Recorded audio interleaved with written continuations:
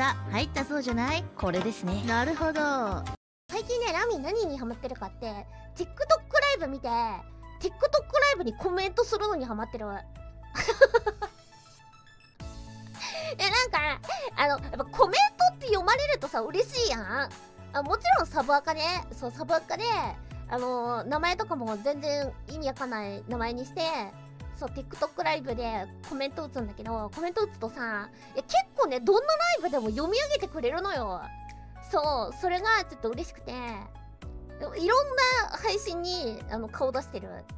なんか TikTok ってさそうチャンネル登録とかしてないやつとかでもさライブがめちゃくちゃいろんな人が流れてくるの。はだからさそれこそなんか通販系のやつだったり全然知らない人のなんかメイク動画メイク配信だったりそれこそアイドルのなんか今からライブですみたいな楽屋で配信してるやつとかそうそういうのにねコメントって読み上げてもらえるかなドキドキって。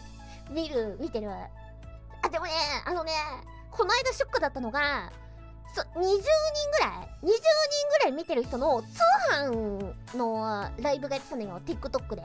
洋服だったっけな。なんかねなんか何か売ってたのよ。でラミーが、あのー、ちょっと一回コメントしたのね。で、めっちゃコメントってゆっくりだからさ、確実に読み上げてるわけよ。一人一人。そしたらさ、ラミーだけスルーされたの。え、あ、スルーされた？と思って、あの、めげずにもう一回、あの、これって、なんか、あの、ね、M サイズとかってどういう感じですか？みたいなのを打ったのよ。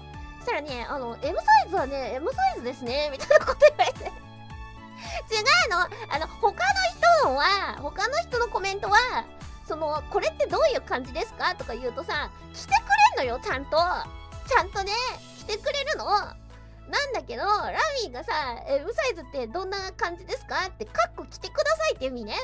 あ着用感が知りたいんですけど、みたいな感じで言ったら、M サイズは M サイズって言われたんだけど。ねえ、なんで？ねえ、なんでなの？どうしてなの？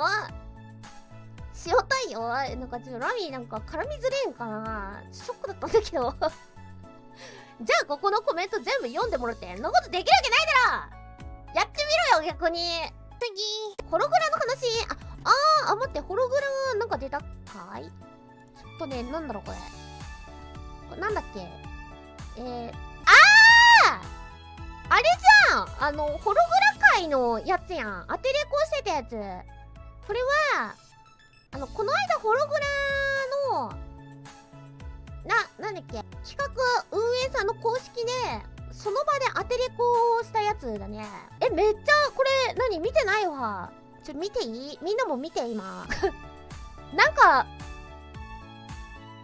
あれだな。意外と意外とちゃんとなってるやん。ちょっと待って。動きがあるとそれっぽい？いやなんかねなんか早口じゃない？あのーホログラって基本早口なんですよ。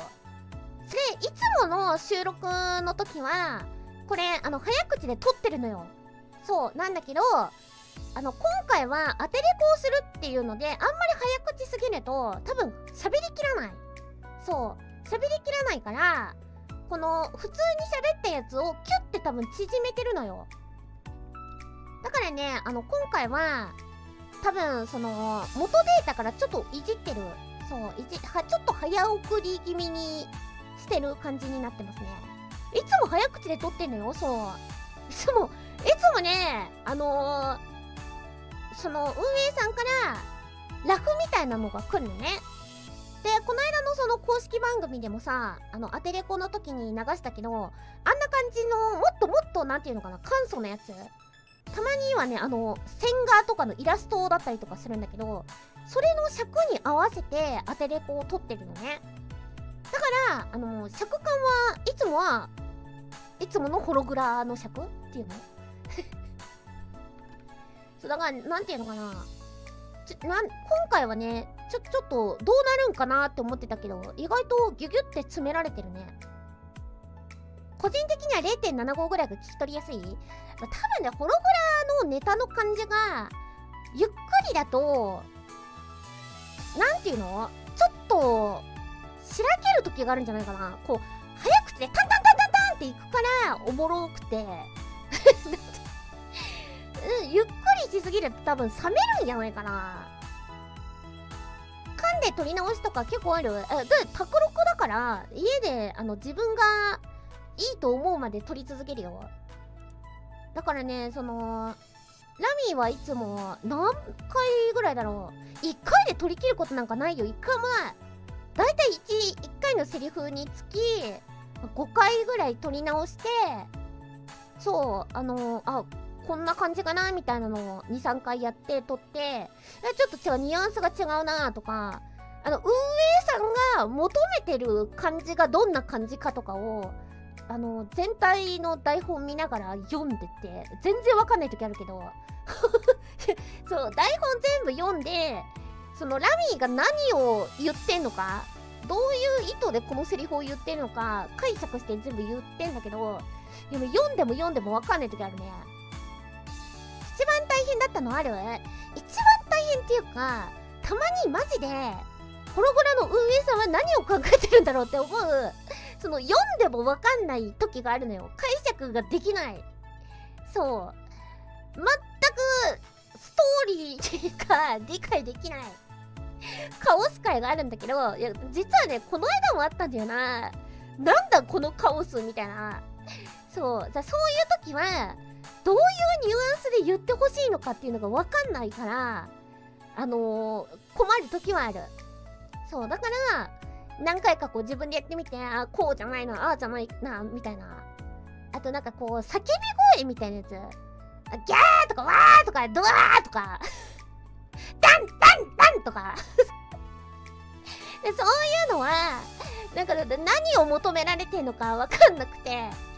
なんかいろいろやってみた結果あの喉をちょっと枯らすっていうこともあった昔は。そう。だなんかねわかんない。どれ求められてんだろうみたいな。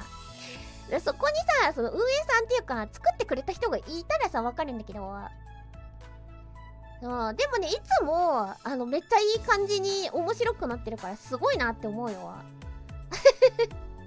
だしあのみんなさ多分そんな感じで撮ってるわけじゃん。で合わさった時に変なやり取りになっちゃいそうだなっていうかこのテン合わなかったらどうしようって思うんだけど大体なんかこうホログラさあの作品が出て見てみるとなんか自然に会話ができてるからすごいなって思う。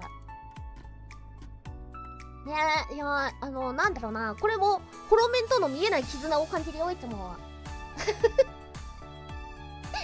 いつもその会話のやり取りをさ面と向かってホロメンとやってるわけじゃなくて自分がなんとなく頭の中でそのホロメンが喋ってるのを考えながら喋ってるからそうでも毎回すごいいい感じだなって思ってる。今回のも公開の時より自然になってた？いやまあ公開の時はね結構その一発撮りしなきゃいけないっていうので割とゆっくり尺感あったりとかしたからね。うん間とかねそう間とか多分かなり詰められてるから。つまり日常からカオスの片鱗が。いやまあでもなんだろうこのホロメンならこういうこと言うんだろうなみたいな。本当は掛け合いの方がいい？いやまあそそれはね本当にそうだよ。それこそ今回のホログラみたいにさ公開アテレコみたいなやつは初めてだったのよみんな。全員初めてだったのね。だからあのその公開配信公開配信とかその公式配信でも言ったけどあのマジでねお互いの顔を見ながらやれるっていいよねみたいな。楽しいしいいよねみたいになったよ。